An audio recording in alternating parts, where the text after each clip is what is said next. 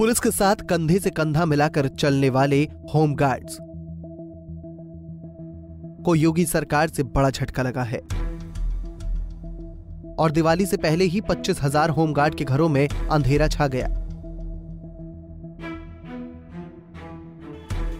प्रदेश सरकार के एक झटके में प्रदेश के पच्चीस हज़ार होमगार्डों की सेवा समाप्त करने की घोषणा से सेवा दे रहे लोगों में घोर निराशा है।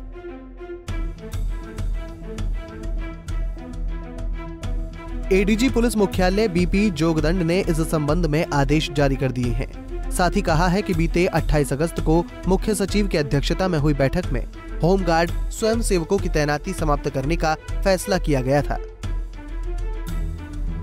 इस फैसले के बाद 3 अप्रैल 2019 को जारी शासन आदेश द्वारा जिलों में निर्धारित कुल पच्चीस हज़ार होमगार्डों की तैनाती समाप्त की जाती है। सुप्रीम कोर्ट की सख्ती का असर प्रदेश के होमगार्ड्स को पुलिस के बराबर वेतनमान मिलने को लेकर सुप्रीम कोर्ट में एक मामला चल रहा था, जिस पर कोर्ट ने होमगार्डों को छह सौ रूपए मान दे और बहत्तर रूपए डीए देने का आदेश दिया था। कोर्ट की सख्ती के बाद वित्त विभाग ने इसे स्वीकार करते हुए होमगार्डों को 6 दिसंबर 2016 से 31 अगस्त 2019 तक के एरियर के भुगतान करने का फैसला किया। और प्रस्ताव को मंजूरी देने के बाद प्रमुख सचिव होमगार्ड को भेज दिया। इस समय होमगार्डों को पाँच सौ प्रतिदिन के हिसाब से भत्ता दिया जा रहा है। नए आदेश के बाद होमगार्ड को पुलिस के बराबर वेतनमान मिलेगा। इससे पहले 7 अगस्त 2018 को योगी आदित्यनाथ ने लखनऊ में होमगार्ड ट्रेनिंग सेंटर का उद्घाटन किया था और होमगार्ड्स की बेहतरी के लिए काफ़ी बातें भी कही थी। सुनिए उस दिन सीएम योगी ने क्या कहा था। अच्छी ट्रेनिंग हो।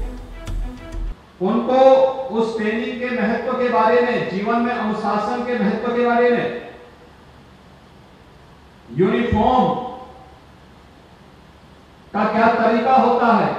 यूनिफॉर्म किस ढंग से पहना जाना चाहिए? एक सामान्य नियम और उसके दिल के बारे में ट्रेनिंग दे दी जाए तो मुझे लगता है कि उत्तर प्रदेश के अंदर उत्तर प्रदेश होमगार्ड एक बहुत बड़ा ऑर्गेनाइजेशन के रूप में अपनी सेवाएँ प्रदान कर सकता है।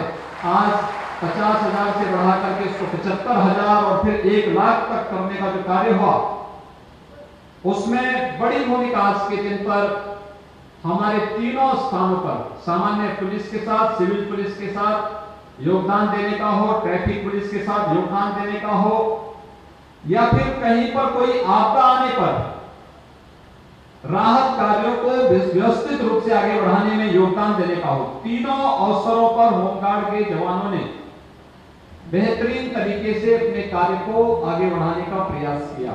25 की जगह अब 15-15 दिन लगेगी ड्यूटी। आपको बता दें, मौजूदा स्थिति में होमगार्ड के वेतन का भुगतान उनकी लगने वाली ड्यूटी के आधार पर ही किया जाता है। यानी उनकी कोई फिक्स तनख्वाह नहीं है। अब तक ड्यूटी रोटेशन के तहत एक जवान की कम से कम 25 दिन की ड्यूटी लगती थी। लेकिन अब एक होमगार्ड को महीने में अधिकतम 15 दिन की ही ड्यूटी मिल पाएगी। अगर सुप्रीम कोर्ट के आदेश के बाद एक होमगार्ड की 25 दिन की ड्यूटी लगती है तो छह रुपए दैनिक के तौर पर उसे सोलह हज़ार आठ सौ रूपए महीने वेतन मिलता, जो कि मौजूदा बारह हज़ार पाँच सौ रूपए से ज़्यादा था। लेकिन अब एक होमगार्ड की अधिकतम ड्यूटी पंद्रह दिन होगी, लिहाजा छह सौ बहत्तर रूपए दैनिक वेतन के अनुसार उन्हें महज दस हज़ार अस्सी रूपए ही मिलेंगे। Bureau report Punjab Kesari TV.